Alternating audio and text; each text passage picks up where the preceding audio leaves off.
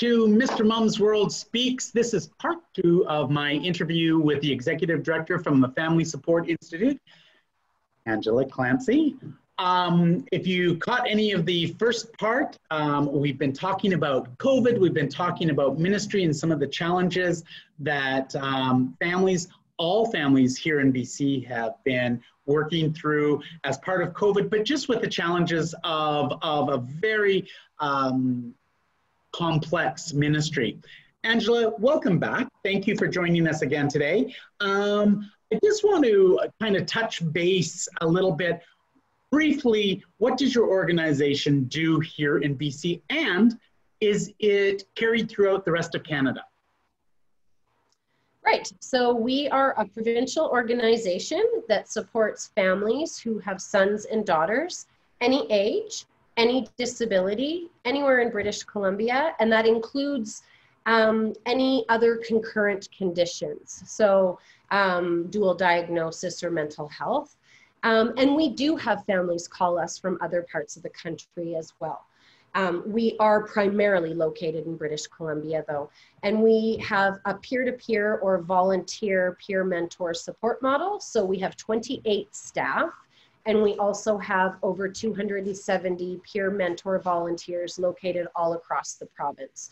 Um, so anyone who is looking for support, our staff or volunteers will attend meetings with them. They'll um, take notes for them. They'll coach and mentor, support advocacy with them, or really do whatever it is that the families need to ensure that they feel supported, have their voices heard, um, it's really a unique relationship that develops between the family and who they're connected with. We also do workshops and training, and we have a whole lot of other tools and, and resources available that we can talk about another time. But primarily, yeah. it's family to family support and advocacy.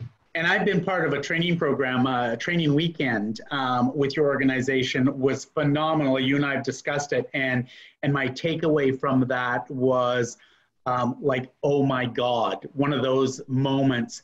Um, so, so thank you for that. But, but your organization does amazing work. Um, yes, you know, we touched on the last show about COVID and some of the challenges. Mental health was a big thing. Um, we hear that the uh, province is about to uh, unleash our children back into the school system.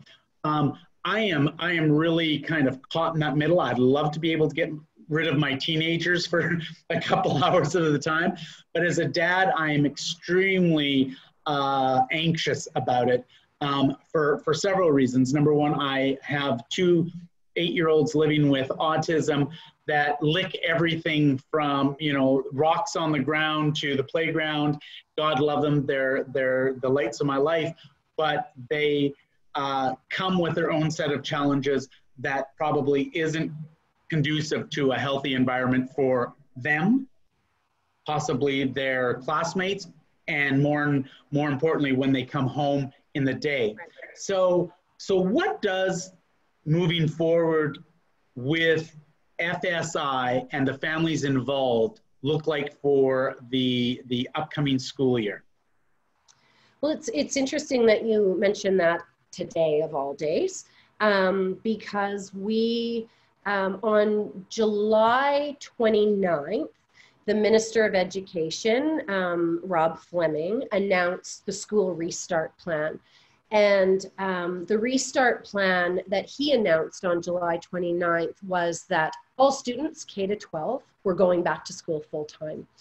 And um, unfortunately, um, that restart plan that he announced was absent of any information around students with disabilities. Sure. Um, what was unfortunate about that was that um, unbeknownst to everybody other than ourselves and the other three organizations that I'm going to tell you about in a minute, we had been meeting weekly with the Ministry of Education to develop a restart plan for parents with students with disabilities for the previous two and a half months. Right. Weekly we meeting. And the ministry had already approved that restart plan, but they just hadn't told us they had approved it and they hadn't given us a date that they were going to launch it.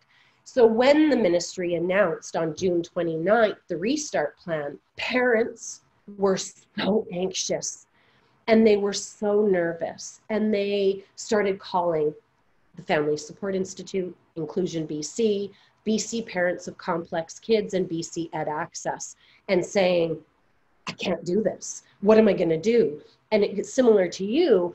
I can't keep my kids at home anymore. Right. You know, right. when school went back in in June, I Mm-hmm. couldn't, you know, oh my God, you know, and and so they were like, how am I going to keep my kids safe? What's going to happen at school? What are these learning cohorts? 60 kids in one class, that's way too big. 120 is even bigger. That's not okay. What about PPE? My kid can't wear a mask. Everyone must wear a mask. All these different things. Yeah. Too many questions, not enough answers. So, what our four organizations decided to do very quickly was launch a survey. And we wanted to find out what a family's feeling, what do they need to know, what's going on for families. So, we launched a survey on August 6th um, to figure out what that, to help guide the ministry. What do you need to know from families? And in 48 hours or just two, two and a half days, um, 1,285 people, I think it was around about, filled out the survey. That's incredible. 1107 i think and, and i might be off on the numbers ele- over 1100 parents and just under 200 students themselves filled out the survey. Wow. and some some key stats you might want to be interested in um, 76% of parents said i am terrified of the health and safety of my kids going back to school. Students feeling exactly the same way. Over 50% of parents and 50% of students absolutely concerned about the health and well-being of people at home. So extended grandparents parents with a compromised immunity. Um, so what about if i bring an illness back into my home? The most staggering statistic for me and for all of our organizations 41% of parents going to be pulling their kids out of the public school system. So um, that what that says um, what i think we should all be concerned about is over the last 40 years parents have fought and paved the way for this crappy inclusive education system that we're working under right now. It's not Right. perfect but it's it's okay. It's sort of semi crappy and in good in some pockets. It's about to be decimated. And diversity in our classrooms is about to disappear. And once kids go into differentiated learning, they could lose their spots and they may never return to public education again. And that is a that is a tragedy for them and it's a very big tragedy for other students. And so that survey, and so we issued a report. Um, the report just got launched today and we issued a press release. And so um, we're, our phones have been ringing off the hook by media um, and we're interviewing. All four of our organizations are interviewing, and we've gone public with it. Um, and the statistics you can read, it's a very long report. The most powerful part of the report is the statements from families and students. Right. Yeah. Um, my, que- my question to you is okay, maybe I look at things very simplistic and maybe, maybe I don't look at it a lens through what can I do for the education system? Maybe I look at it from what are you going to do for my kid? Maybe that's it. I don't know. Maybe I'm just naive. But here's my thinking if something clearly isn't going to work, my question is this why are we forcing our families back to school? Wouldn't it make much more sense to wait until October, November, and then maybe work through the summer? Or would that inconvenience the teachers and the like that? The, the, to me, the, this is about the teachers. This is not the first time I've felt that we're making decisions based on teachers from I can't send homework home to your child because I don't volunteer my time and that would be extra work for me. I've heard it all, and it's not that I'm not supportive. My children have had great teachers in their life. That's not it at all. I just wonder why we haven't thought of a different way to prolong going back to school and maybe making it up next year. here's the thing i you know i think um, and you'll see in the report there's we made eight recommendations and one of the recommendations is having choice so um, so while i hear what you're saying around a consideration of a delayed start because that would that would work for you Mhm. that would absolutely not work for many other people sure. because they can't take it anymore. Yeah, absolutely. There's lots of families who want a delayed start, and there's lots of families who need their kids to go to school. But my there's, question who want a blended model, right. who want couple of days at school and a couple of days at home. Sure. Um, and so, and there's lots of families. And so I, and one of the things I failed to mention that I do want to go back and just mention was yesterday, the ministry finally announced the guidelines for what going back to school would look like. And we were really, really pleased to see a very strong lens around inclusive education and, and kids with dif- disabilities and special needs and extra support needs. And so it then um, eased so much anxiety and angst for parents with kids who have vulnerabilities because there was an emphasis on PPE. There was an emphasis on social distancing. There was mention of a hybrid model. There was mention of options and choice. Um, what those options and choice are, we still don't know. But what the hybrid model is going to look like, nobody knows. But at least they're in there. Um, and there is mention of, okay, so you, you have to wear masks when um, social distancing isn't, you know, an option. But then right after it, it says, but if you can't wear masks, okay, you know, figure stuff out. And so then, you know, it, it lent itself to, okay, it's going to be okay. Because parents who have kids who can't socially distance, who can't wear a mask, who's going to rip it off, who's going to trigger behaviors, went, oh, thank God my kid's not going to be put in the cloakroom, right? Because my kid's not going to be knelt on on the floor, because these are fears that have instigated trauma in parents around kids who have significant behavior concerns, right? Mm-hmm, mm-hmm. And school is not always a safe place for kids with disabilities. And history has shown that um, kids have been secluded, they have been restrained, they have been sent home. Um, and so and and we have come a long way but we still have a long long way to well my and and and i hear you and and god bless the fact that you know um, it wouldn't work for every parent. My concern is is why does it have to work for the parent? Because at this stage should it not be about the safety and yeah. um, and concern or or the well-being for um, our kids, our, our children. Yeah. So so when you say you know well it wouldn't work for families, then my concern is well does it have to work for the family or do we just say no it has to be for the well-being of the kids in care i think it has to, or in school sorry I don't think it can be either or. I think it has to be and. Um, and I think we need to remember that, um, you know, when we go back to that stat that I was talking about, about the calls we are getting around parent mental health and parent employment, these are the primary caregivers, right? If parents have to go to work, they have to go to work. Right. Um, you know, and so, you know, a lot of parents are, um, you know they're it's single parents we can't expect them to not go to work their kids right. have to go somewhere sure. the other thing is um, you know their kids if their kids um, if their mental health is on the line one of the things we have to remember is you can't be any good to anyone else if you're no good to yourself True. so if their mental health crashes as a result of their kids not being able to go to school then they're no good to anybody, right? True. And so there's it's a complicated it is and, and you know and again and again I, I come at it from a parent who who i mean t- typically we have struggled through this this this piece of covid already and i'm going into the next piece going okay like someone's going to be taking me to the loony bin when this is all said and done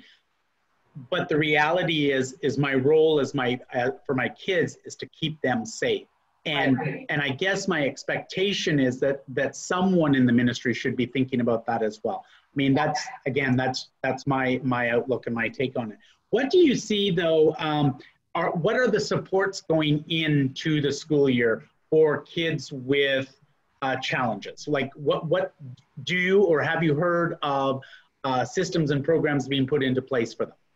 Don't know. Don't know. There's not enough information yet. Um, I mean, the guidelines are pretty good. I, we're you know, two weeks away, Yeah, right? right.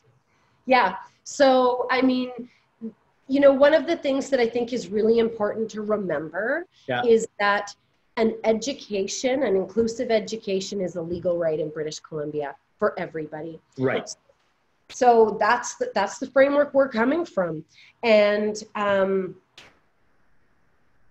if if kids aren't able to attend school um, for whatever it might be like one of the one of the families in the surveys son has cystic fibrosis Mhm. right? I mean, you know, is it, is it reasonable to expect him to attend school um, when he is that vulnerable of risk? I don't know. I mean, you know, this is his parents' decision to make. But if it's not reasonable, um, and the distributed learning program is waitlisted in his region and he can't get in, then I would argue it's the school's responsibility to provide him an education. What does that look like? I think it's up to the school and the parent to figure that out. I think that's a reasonable accommodation given his circumstances. I mean, that's one example. Yeah, yeah, yeah. Um, you know, so I think it, it, I think the bottom line and one of the recommendations in our report is school districts should be having collaborative, robust conversations with families to figure out how you're going to deliver an equitable access to education for every student. And what does that look like? And COVID or not. COVID or not. That's right. And Yeah. so right now, for September, you got two weeks. Right. Collaborative conversations with each and every family to deliver an equitable access to education to figure out you know the supports that you need for your son or daughter So in, in, in, in kind of finishing up our chat, uh, in a perfect world, you've been elected premier. And um, what would that look like for families across BC living with uh, family members themselves uh, with challenges? What does that look like for the supporting agencies of those families? oh wow premier that's a lot of power oh, i'm loving that um, um, so, you know, I mean, I know that it's a federal initiative right now, but in BC, I would love to see our province a part of a, a basic income pilot. I would love to see that families um, aren't financially strapped the way that they are right now and and people with disabilities and self-advocates themselves because one of the things that is kind of congruent across all ages everywhere you go is that finances are limiting families all over the place. Um, whether it be access to services whether it be inability to stay home when your son or daughter you know is is compromised health and you're feeling between a rock and a hard place whether or not they should go to school. And you shouldn't be put in that position where you're feeling like your son or daughter's health is at risk but your only option is to put their health at risk because you can't afford to stay home Right. um, so you know that's one of the things is I, I would love to be a part of for bc to be a part of a, a basic income pilot um, and whether it's federal or provincial i don't know um, I would love to see our disability benefits program more robust. Um, and so that people aren't stuck in poverty when they're on our disability benefits program. I'd love to see a complete overhaul of our child protection system so that kids aren't being put in care like this. Um, I'd love to see foster parents acknowledged for the work that they're doing and, um, and bio parents feeling secure with their with their kids and both systems working kind of nicely together the CYSN program and the ch- children in care um, i'd love to see kids in care. Oh, there goes my bird. Um, i'm not outside. Um, um, i'd love to see kids in care and i know that there is some work being done in this but i think it should be done more. Um, when they age out um, having some permanency and having some security um, when kids in care when kids in care age out. I'd like to see that system being a little bit more solid. Um, uh, I'd like to see the at-home program completely revamped in the CYSN world um, because it's it's a program that hasn't had an overhaul since right. it was created in 1986 or whenever that was. Um, oh, dream big, Angela. Inclusive right? education. Wow. I'm, I'm voting for you. Uh, inclusive education, I think, um, you know what? I mean, I would like to see, you know, I, am reminded of the, the most beautiful Judith Snow, who was such a strong advocate for inclusion. Um, and she said, um, when she came to our training weekend one year, you know, inclusion is truly happening when you just don't see it anymore. Right. And, um, and, and if, if, if I were premier, you just wouldn't see it anymore. Right. You wouldn't see it in our schools. You wouldn't see it in our communities because I would fight for inclusion everywhere. Our well, accessibility I... legislation would happen. Inclusion would just be a part of. You just wouldn't see it. Well, I'm definitely voting for you. Um, I love our conversations. I love uh, getting together with you and having Mexican lunches and laughing and, and enjoying. And, and I always feel I walk away uh, learning so much from you um, and, and um, in the position that you hold with your organization, but also on a personal level. I thank you for being a friend. I thank you for joining me today. Um, and I'm hoping that the information that we consistently share, um, not only just between you and I, but, but everyone abroad, that it does make for a better province, better world. But we will get to that place where we don't see uh, the differences, we just see one. And uh, thank you so, so much. Um, I look forward to our next lunch. Me too. Thank you so much for having me. Oh, you're very welcome. We'll talk again soon. Thank you. Sounds great. Bye. Bye.